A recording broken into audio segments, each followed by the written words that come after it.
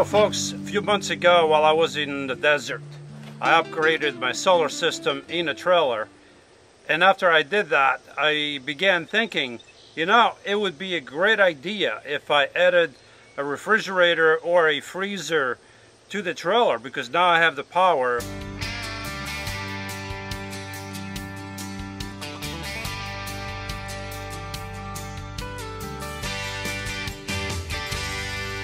Lo and behold, Bougie RV contacted me and uh, ended up sending me a 55 quart refrigerator, freezer. Bouge. It's Bouge. We're going to unbox it and I'm going to install it. then I'm going to run it for about a week. I'll put some stuff in it, see how it works.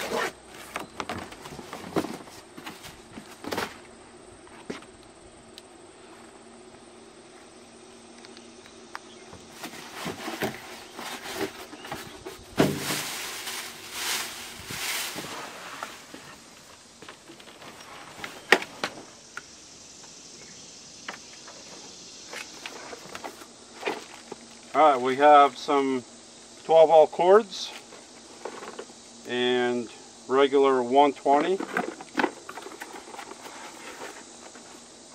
Got some instructions.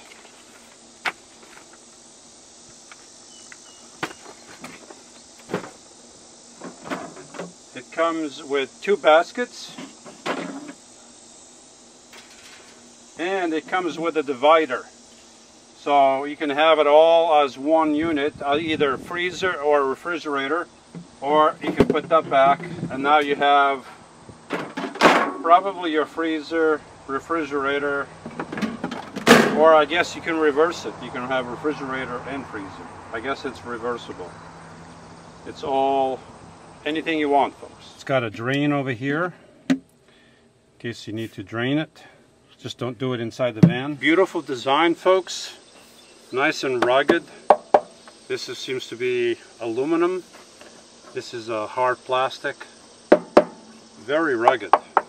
I would have preferred probably not in aluminum. Maybe all rugged plastic would have been better. Tougher material. This will get dirty really quick, fingerprints and all that. But it still looks nice, you know. Clean it once in a while and it'll look beautiful.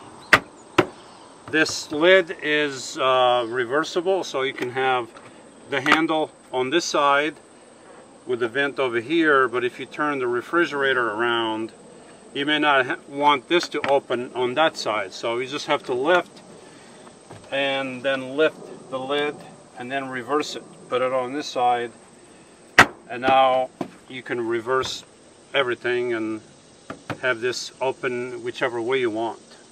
That's pretty cool. I like it. Seems to be a nice heavy duty lid and um, and handle thing here. This is called the Rocky 50 even though it's a 55 quart refrigerator. You got three cup holders right here. They're not going to hold the cups if you're driving, but if you're standing still, you got three of them you can use this as a, a table also or a storage area. The total volume is 52 liters without this partition in the middle. The left box is 22 liters and the right box is 27 liters. This is the control panel. I haven't turned it on so I don't know what it looks like. You got nice beefy handles right here to lift this up and this is where you plug in your 12 volt stuff. This is for the solar. And you got storage here for a battery. You can include a battery in there. In case you lose power, then that will last a few hours. It's about 28 inches wide by about 18 inches by about 18 inches, 17 something. So it's a pretty good size. I could have picked whatever size they had. I think the biggest one is the this one. it's the Rocky Rocky 75, which is the 80 quart refrigerator. It was too big for my trailer. So I picked this one. I think this is this will fit perfectly over here in the corner. I may have to do some remodeling, but that's what I'm going to do now. I'm going to uh, wire so I can plug this in. I'm going to cut some wood over here so I can fit it in place. And, and then I'm going to get uh, some water. I'm going to put a couple gallons of water in here and I'm going to set it on freeze. Uh, and then I'm going to see what happens by the weekend, in about a week or so. If it's holding and if it's working good, then I'll buy some food and fill this up with food or pretty close to full and and then hopefully it'll work and my food won't spoil. But it's a beautiful refrigerator. They're not paying me to say any good things about this. I did get it for free, but if it doesn't work properly, I'm going to say it. If it works good, I'm going to say it. And, and that's just the way it is. So, so far, I like it. Like I said, I would prefer this to be rugged plastic, but some people may prefer the aluminum. It looks beautiful. I'm not saying it's not beautiful, it is beautiful, but um, the plastic might be easier to clean. But like I said, some people might prefer the aluminum and they might be fine.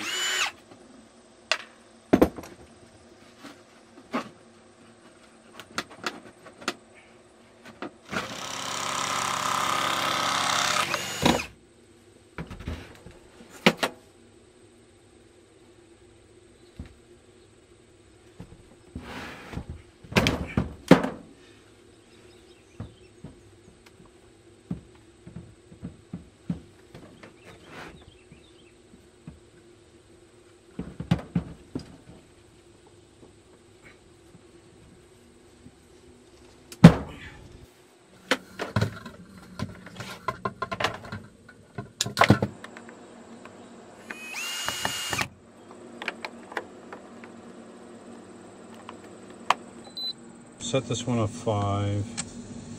Now we set this one at five.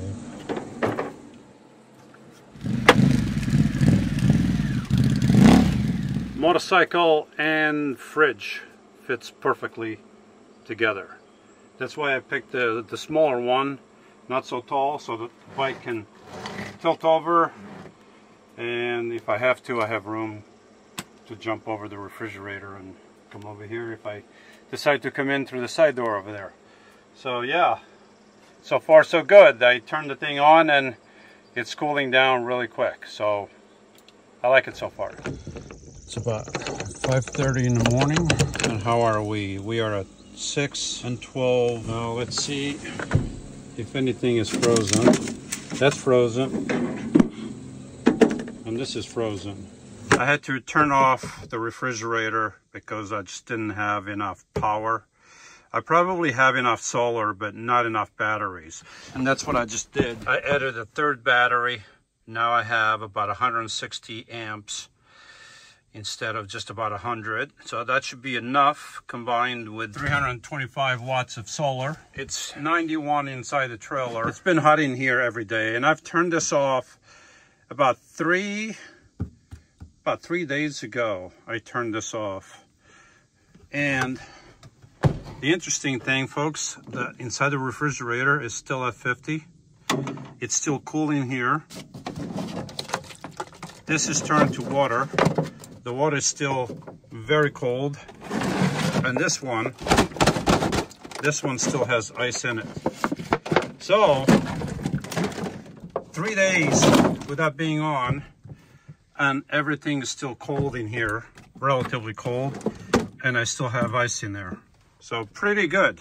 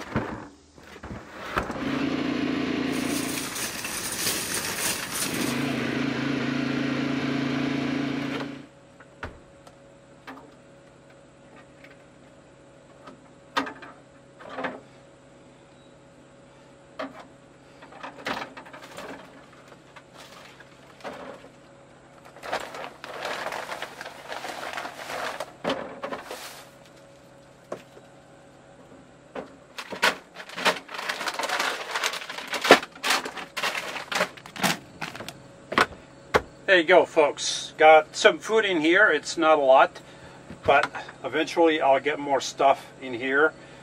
And uh, yeah, hopefully it'll continue to work just the way it's working. And uh, it seems to be pretty cold in there. And I'm liking it. I got to put some uh, foam insulation underneath when I have a chance to, to buy some. It's going to cushion the refrigerator when I drive and it's going to insulate it a little bit more. So very good. I like it. This is going to come in hand even more when I go back out west. Right now I'm going back east and the stores all over the place. I'm going to fill it up with stuff. This way I don't have to keep going to uh, this particular store that I like to go to that where food is cheaper and more in bulk but cheaper and I can fill this up with that kind of food. And when I go out west, I'm going to do the same thing. I'm going to fill it up. I like to buy these big fillets of uh, wild-caught Alaskan salmon. And I can buy it really cheap at that store versus double the price somewhere else. So I can put three or four pieces in here about that big instead of just one in my other refrigerator. So that's it's a big difference. And other meats and stuff and frozen berries, whatever I can put in here.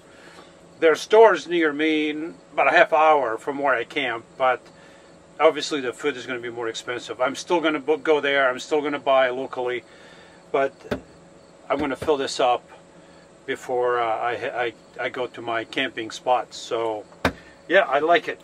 I like it very much. I got to tidy up these cables a little bit and um, and yeah unsecure the refrigerator so when I start driving around it doesn't uh, shake all over the place. I can put some stuff in here for now so it doesn't move but I want to put something else here. And yeah we'll see what happens folks but so far I'm really liking the Bouge RV Bouge RV um, 55 quart Rocky 50 refrigerator freezer. And right now I'm using it as a freezer and I'm loving it. And that extra battery that I installed I think it's all I need. I'm I don't have to add any more solar I believe. If I have to I will but so far I'm loving it